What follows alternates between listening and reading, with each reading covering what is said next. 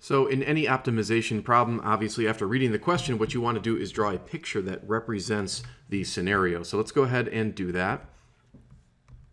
That is probably the impression you had at first. This is my attempt at being hilarious, but that's not the right picture. So let's try a different picture.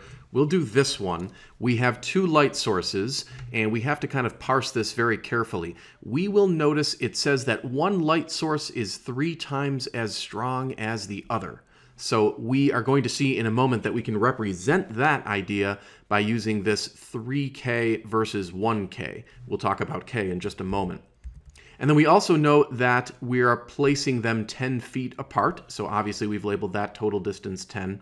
And then the question is, where should an object be placed on the line so as to receive the least illumination? So we're going to take some unspecified object and just place it right here somewhere.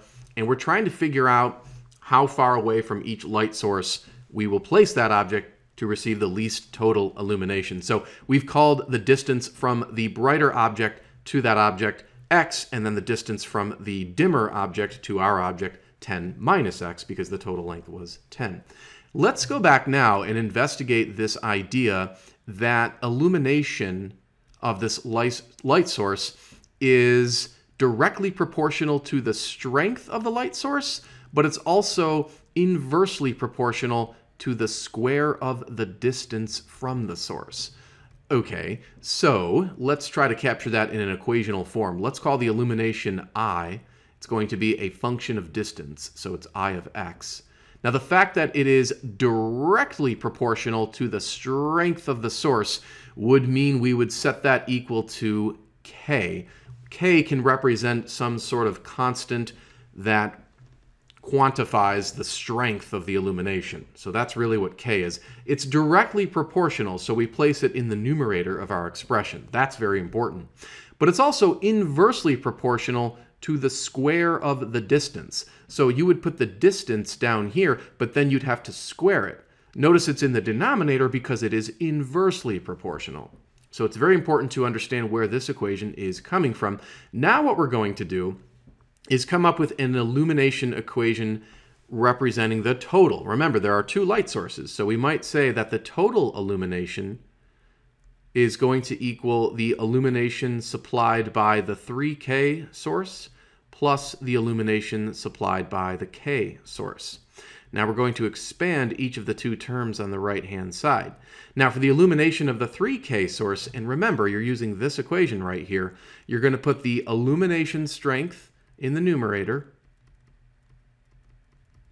and then the distance in the denominator squared. The distance squared. So for the 3K source, we've said the illumination is 3K, and then divided by the distance. From our diagram, that distance is just x, so it's x squared. Plus the illumination supplied by the dimmer source, that was just 1K, divided by the distance from that dimmer source to our object squared, we can see that that's 10 minus x squared. There is our illumination equation. And after establishing that, in order to find the minimum, what we need to do next is come up with the derivative of this illumination equation.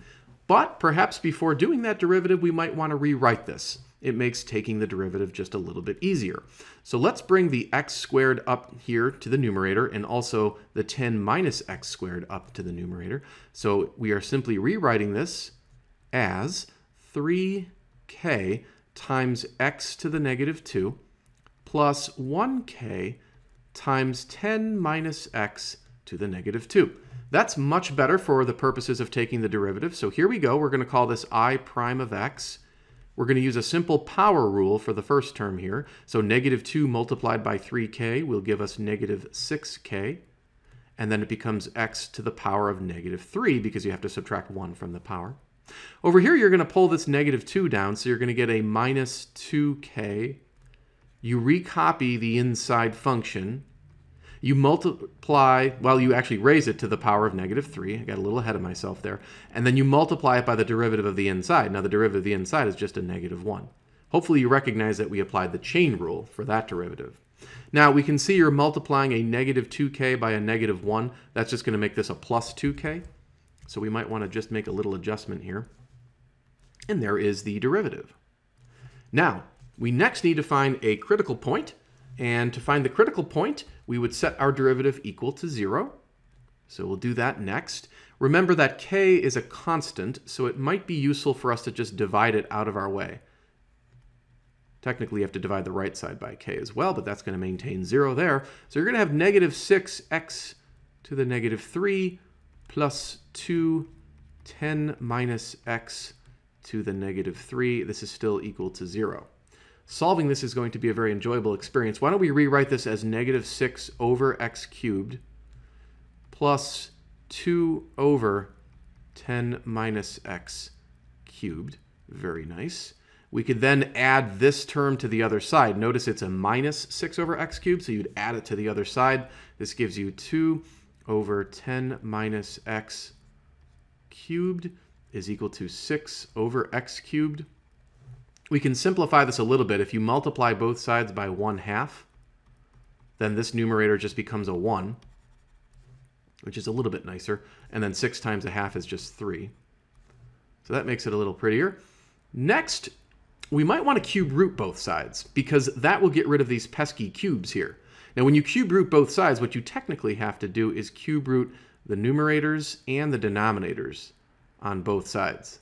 So it looks something like that. The cube root of 1 is 1. Put this over the cube root. Now this is cool because the cube root and the cube cancel, so you get just 10 minus x there. The cube root of 3 is the cube root of 3. I'm very smart. And over here, the cube root and the cube cancel to just make x. All right, next I would prefer to cross multiply, so you go x times 1, which is just x, and set that equal to whatever we get by multiplying that nastiness. So you're going to have cube root of 3 multiplied by 10 minus x. Let's go ahead and distribute the cube root of 3. So you'll have x equals, you're going to have 10 cube root of 3 minus, I guess we'll just call it x cube root of 3. You could also say cube root of 3x. We'll add the x cube root of 3 to the other side. So you'd have x plus x cube root of 3. This would equal 10 cube root of 3. We'll factor an x from the left side. That gives us 1 plus cube root of 3. We are very close here because now we can just divide both sides of the equation by 1 plus cube root of 3. So our final x is going to be 10 cube root of 3 all divided by 1 plus cube root of 3. So this is going to turn out to be the correct answer for x. We would probably have to prove that this actually indeed minimizes the illumination. So for that, you'd have to employ a first derivative test. What you do in the first derivative test is you just plot your critical point on a number line. Then what you do is select values smaller than and greater than the critical point. Now let's perhaps take out our calculator and figure out what this ghastly number is. So 10 times the cube root of 3 over 1 plus the cube root of 3. I'm trying to punch this into my calculator right now. And that turns out to be about 5.91. So we would have to choose values smaller than and greater than 5.91. We might choose 5 here. So we would have to do i prime of 5 We'll show you how to do that in a moment. And you'd also have to do i prime of a number greater than 5.91. We could use 6. So we have to plug this into the derivative. And the derivative was this expression right here before we divided the k out of it. So let's grab that and bring it down here. There it is. So yeah, we'd have to plug 5 in. And if you plugged 5 in, you would discover that the derivative would turn out to be a negative value. It doesn't matter what it actually is, but it would be negative. So that would mean that the illumination function is decreasing up to the critical point.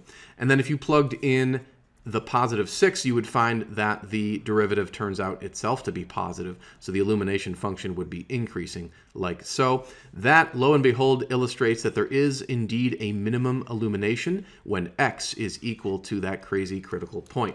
Now we just make sure we've answered the question in full. It says, where should the object be placed? Well, we discovered x, so it should be placed that crazy number away from the more illuminated light source. So we can say that the object should be placed 10 cube root of 3 over 1 plus cube root of 3 from the brighter light source. That would be the correct answer to the question. I suppose we should put the unit in here as well. The distances were measured in, it looks like feet. So just don't forget to put feet right there. Thanks for taking the time to watch the video. If you're interested in making a small donation to my cause, I would greatly appreciate it. If not, no worries. I appreciate you taking the time to watch regardless.